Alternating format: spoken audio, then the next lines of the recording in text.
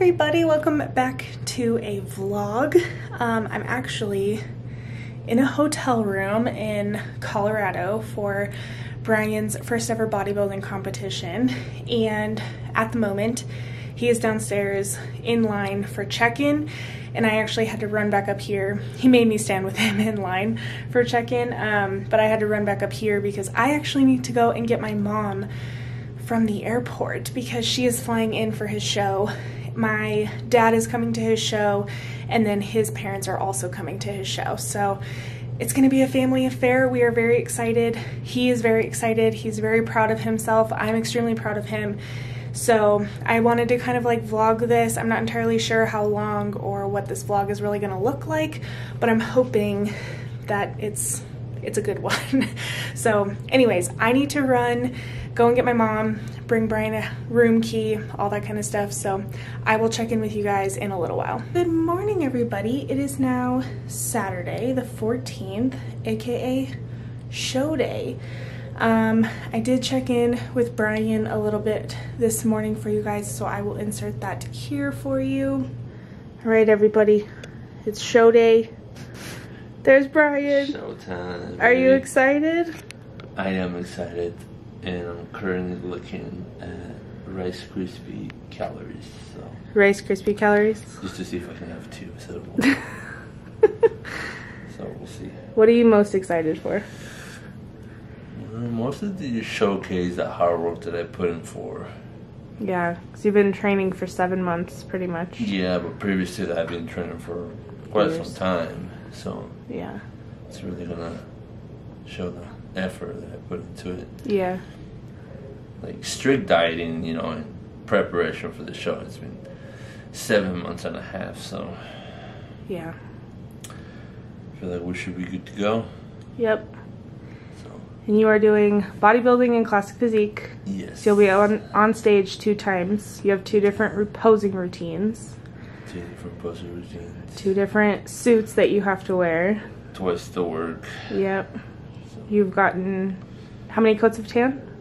Three or four? Three. Three coats of tan. He is the darkest I have ever seen him in my whole entire life. That's pretty good. Though. yeah. Yeah. Are you proud of what you're bringing? Yes, most definitely. That's the most important thing. And All right. pancakes and breakfast afterwards, or whatever type of food. Whatever type of food you want, we'll go and get after your show today. Yes. Yay. I'm excited. All right. See you soon. guys. Everybody wish Brian luck. Thanks, guys. He's excited.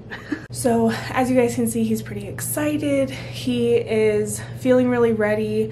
He had just gotten his third coat of tan when I talked to him, um, at least on camera for you guys. And he is actually down at an athlete meeting right now. And I am actually on my way down there. Um, I just finished getting ready, doing my hair, makeup, all that, getting dressed, and yeah.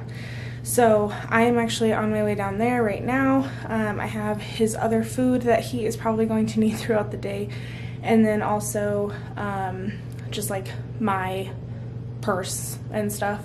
Um, and then I'm going to prejudging at nine for him. So I am very nervous. I'm very tired, um, but I think it's going to be a good day. He feels really good. He feels really ready. So that's the most important thing. But anywho, I'm going to head downstairs and go to prejudging and uh, we'll see what else I can film for you guys. I can't film inside the competition, I don't think. So I might have to film some stuff on my phone and then insert it for you guys. But yeah, we will see. So let's go downstairs.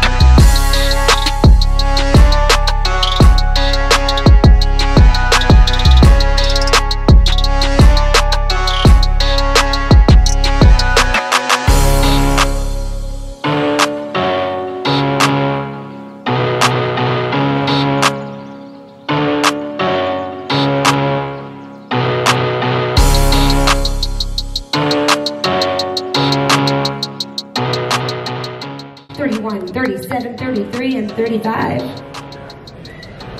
Top five coming at you. Need them again. We got 31, 37, 8, 33, and 35. There we go. Yeah, Brian! Your top five guys. No longer novice. No longer true novice for any of these guys.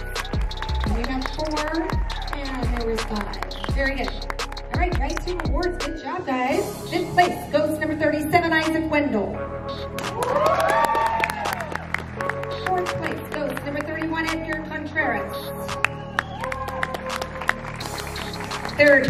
bring it to number eight, Brian Robles. Yellow! And we're down to two. Second place, your runner-up, number 33, Dan Hernandez. And that makes your men's classic physique true novice, the B class champion 35, Connor Payne. Job, Lolo! Right on, guys. Favorite shot for the cameras down in front. Make it a good one and smile. Give it up for these guys.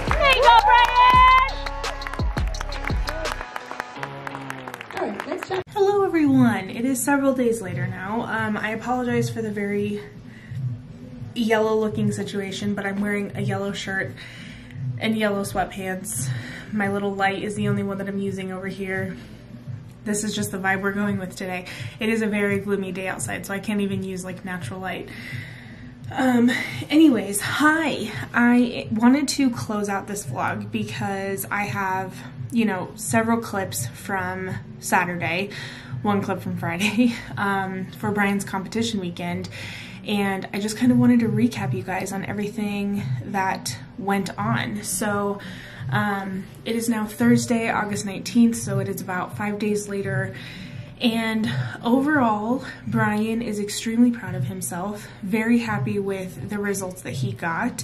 Um, I didn't film anything at prejudging because prejudging is kind of, it's more like subdued. It's not nearly as like audience excitement as finals are, which is where both of my parents and Brian's parents were at with me in the audience.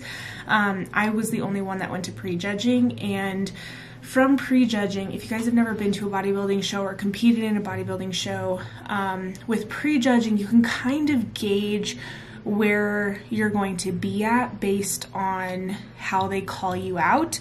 Um, it's called first call outs, and if let's say you have, you know, 15 guys in this particular class, um, and they call out, you know, competitor number one, two, three, four, and five first. That's called first call outs, and those are probably going to be your top five in that class.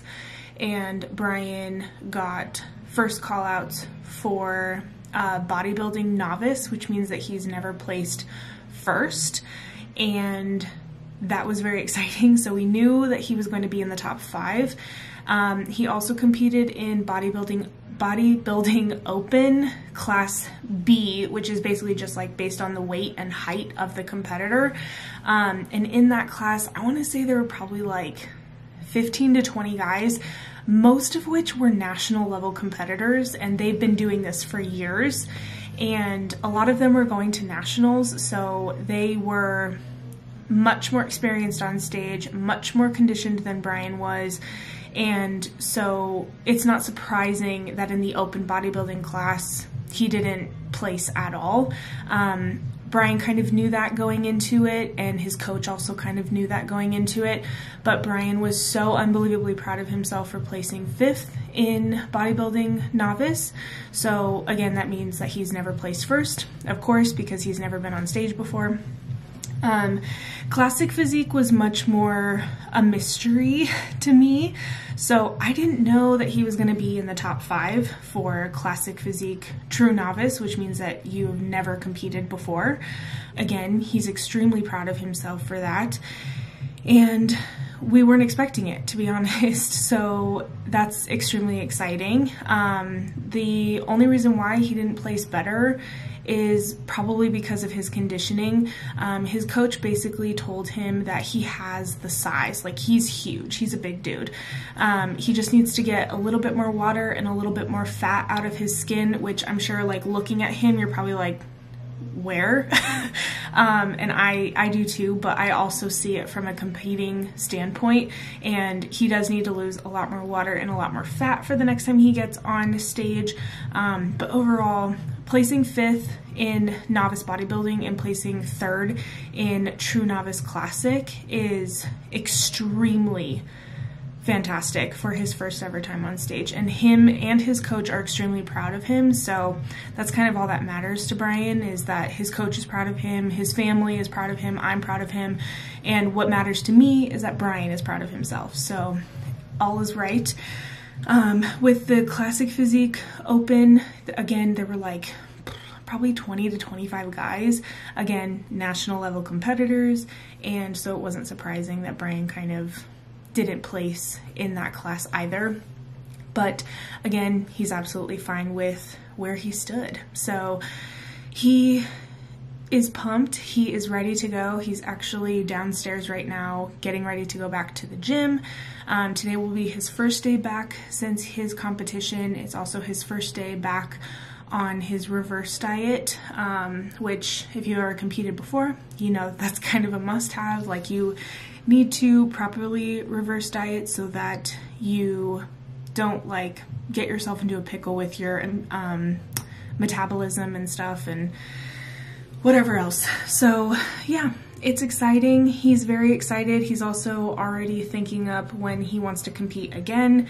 Um, again, we need to come in more conditioned, less water, less fat, and also his coach wants to put about six more pounds on him, but mostly in the leg. Um, his quads, hammies, and calves do need to be a little bit bigger for the next time that he comes in. So that's that's what he's going to be working on. And me as the wifey, I will just be sitting here cheering him on. So anywho, I hope you guys enjoyed this like weird little vlog. I tried to kind of edit things together. I didn't really want to manipulate it too much um, because I didn't really have a whole lot of footage to be honest, but I did want to share it with you guys.